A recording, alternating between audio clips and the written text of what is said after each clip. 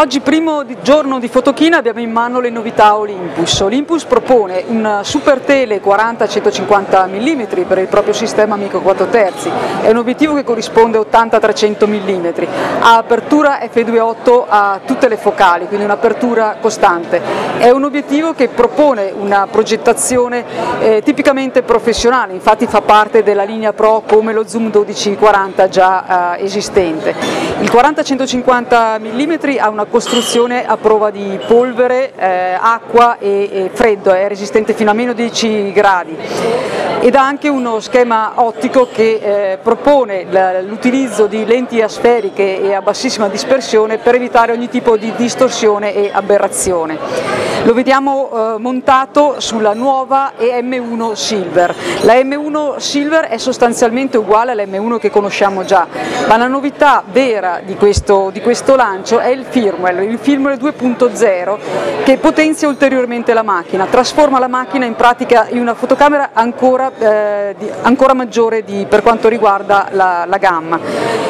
Questo firmware che viene implementato nella EM1 Silver sarà disponibile dal 16 settembre per tutti coloro che hanno già in mano la EM1. Che cosa offre questo firmware? Offre eh, diverse eh, caratteristiche nuove, in primis la possibilità di collegare la fotocamera tramite USB al computer, eh, una, una, caratteristica tipicamente professionale che consente al professionista di gestire da computer le funzionalità della macchina. Altre caratteristiche nuove introdotte con questo firmware sono la correzione delle linee cadenti, una cosa tipica della fotografia di architettura.